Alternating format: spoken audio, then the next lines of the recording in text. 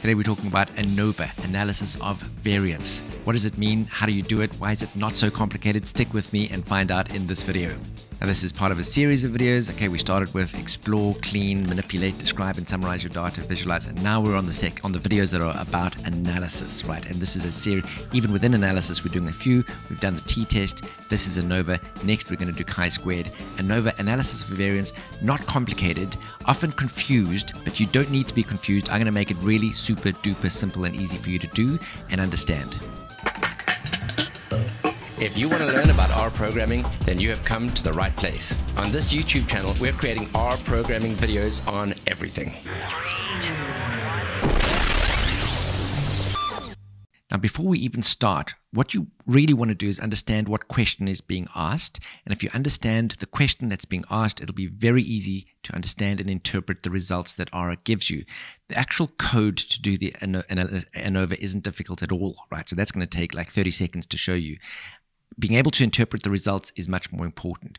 You don't need to understand the mathematics underneath it, that underneath the hood, that R will do it for you. You do need to understand the question and how to interpret the results, right? So let's just deal with that quickly now. If you've learned how to do a t-test, so if you're looking at ANOVA, presumably you, have got a relatively good understanding of a t-test. When we did a t-test, we compared two means, two averages. Look at the diagram that we've got over here, right? If we were just looking at Europe and America and we wanted to compare the life expectancy of uh, people living in Europe and people living in America, in the Americas. These are big continents, right? If it was just two continents, we would do a t test, right? And we would say the null hypothesis would be that, that there's no difference between the life expectancy. And if we showed that there was a statistically significant difference, then we would reject the null and accept the fact that, yes, there is a real difference between Europe and the Americas, right? We can't use a t test if we add in a third continent, right? The t-test doesn't cope with three or more.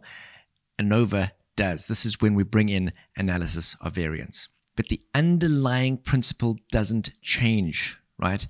The null hypothesis, right? If we, we, when we're looking at the data, our starting point is let's assume there is no difference in the means, in the averages. And and the way I've I've got box plots and density plots. It's the same thing, right? This top row over here, this is Europe as a box plot, Europe as a density plot, uh, America's in green, and Asia's are in blue. It's, it's just the same data represented in in two different ways, you know, and that's just to illustrate the fact that that's quite a nice thing to do. You get a sense of the shape of the data if you use both kinds of plots. The the big dark dot is the mean, because remember, a box plot's line in the middle is actually the median, not the mean. So I've popped a dot in there because that's that's the mean. And you can see that the data sort of suggests that there is a difference in means. I've put dotted lines here that represent the means in these density plots, right? So we can see the data suggests that the means aren't equal, but that could just be sampling error, right? And so we want to know eh, from the population that this data has been taken, is this difference that we're seeing statistically significant? The way we answer that question is by assuming the opposite. We assume the counterfactual. We assume the antithesis.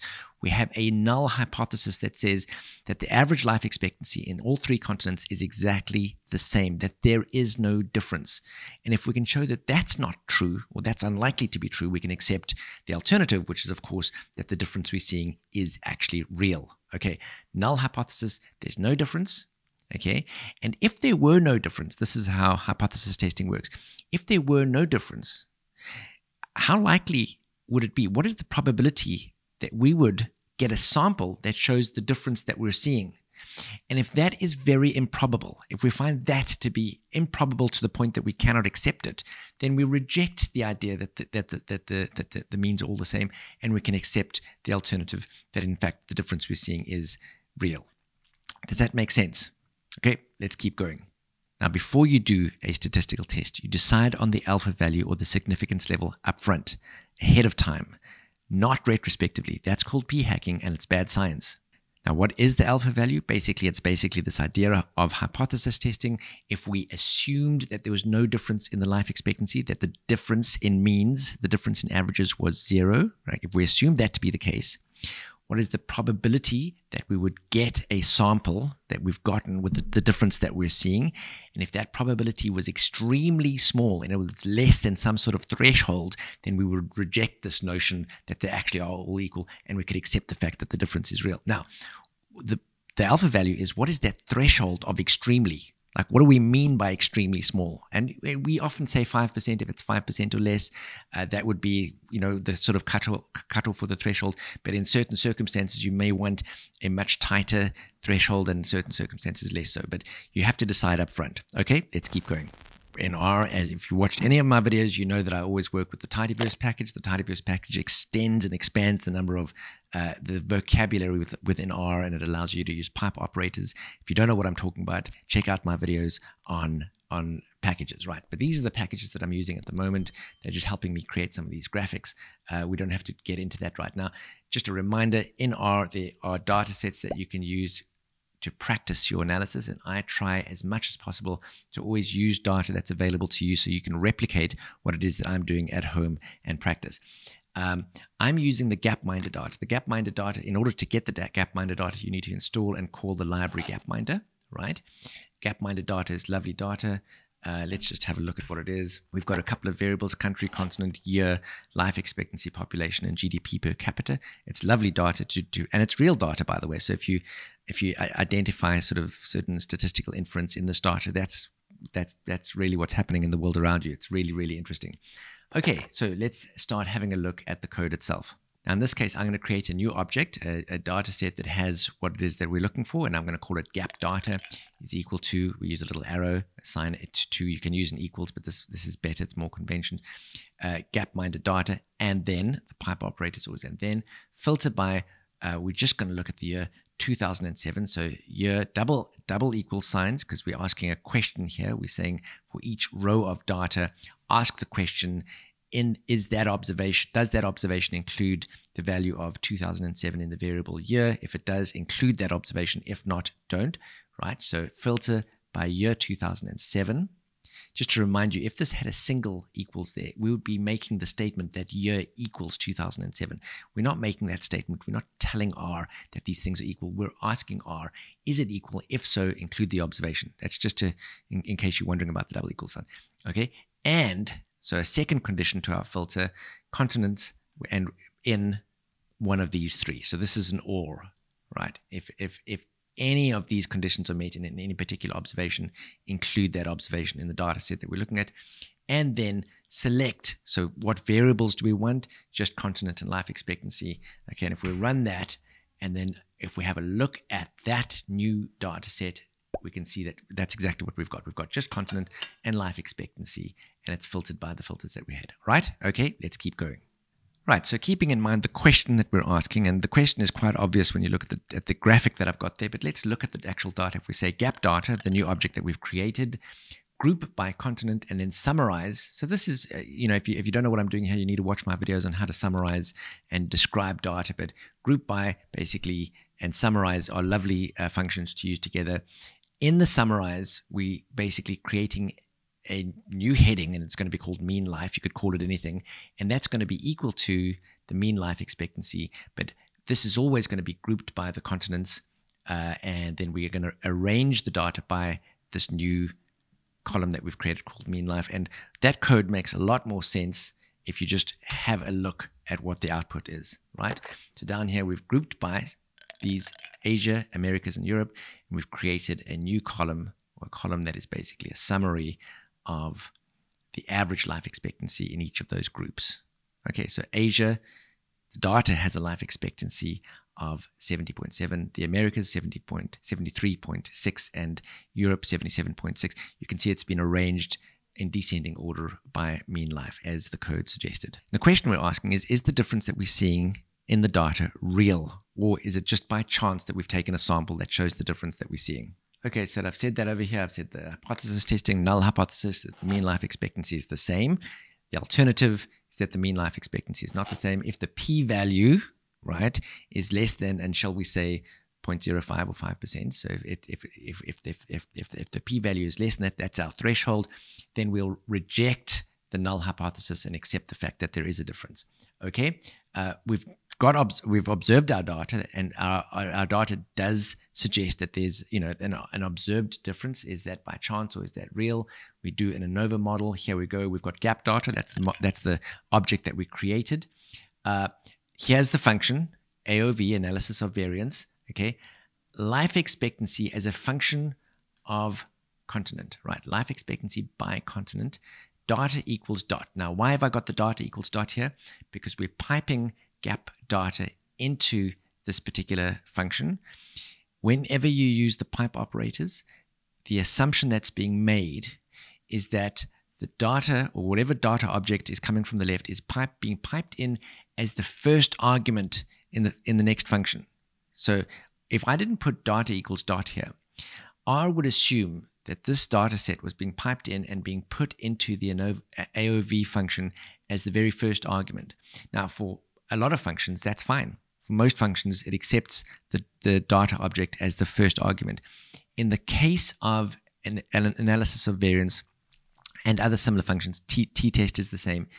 It's not expecting to see the data object as the first argument. So we have to tell it, look, the data, put the data over here. And that's why we have the data equals dot. All right. Uh, and then pipe the output of that into a summary. And that basically asks asks R to summarize the, the, the model that it's creating there. And if we push uh, command enter, we can see the summary down here. Now, how do we interpret this? The, the number that we're really looking for here is the p-value and we're interested in the p-value in the context of the question that we asked, right? We said, let's assume that all, all three continents have got the same average life expectancy. Okay, if that were true, how what's the probability that we would see the difference that we're seeing? That difference or greater, well, that probability is extremely small, three point, so it's 0 0.000003 0.42, you know, it's 3.42 times 10 to the power of negative 5. Uh, it's a very, very small probability. We can reject that idea. So we reject the null hypothesis that these means are the same, and we can accept the fact that what we're seeing in the data is statistically significant. Okay, got it? Of course you do. Now keep in mind that all we've proved so far is that we think that at least one of these is different from the other two, but we haven't said which one. We don't, you know, we, have got a, a, small p value, so we're saying, well, they're not equal, but we, we have got no real indication of maybe there's one or maybe there's two of them that are outliers. I mean, we could do an AOV with more than just three means, right? So how do we tease that out a little bit? Okay, let's have a look at that. Okay, so now we're going to take our gap data, right, that we've that object that we've created. Uh, we, we're just running the same code, do an analysis of variance, but instead of piping that into a summary, we piping it into a new function here, which is a, a, uh, a Tukey HSD. Uh, now, what does that stand for? The HSD stands for honestly significant difference. And if we run that, and I, I, you, you can see I've, I've, I've hashtagged out the pipe operator there because I just first want to run that line of code. And what we've got down here, this is really interesting.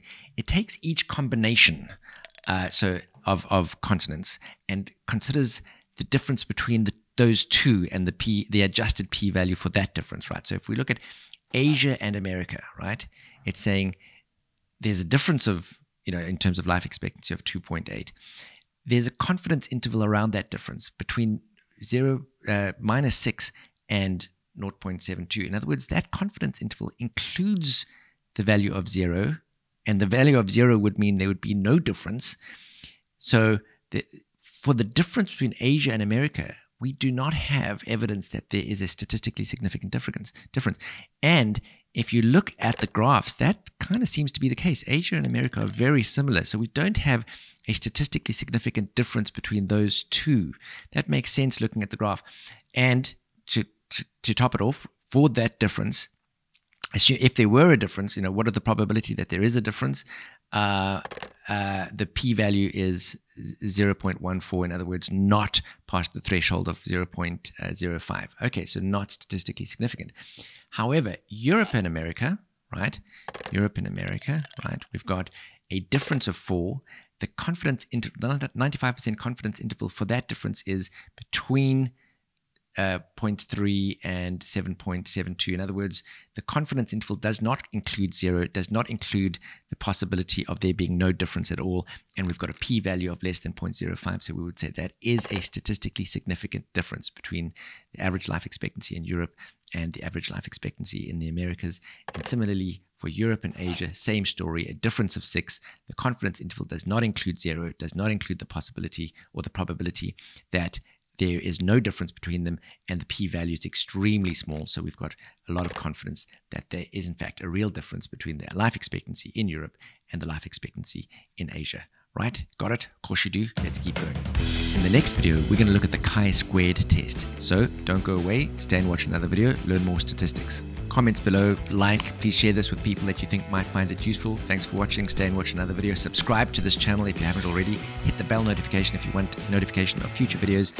Stay well. Don't ever change. Don't do drugs. Always do your best. Speak to you soon. Take care. Bye.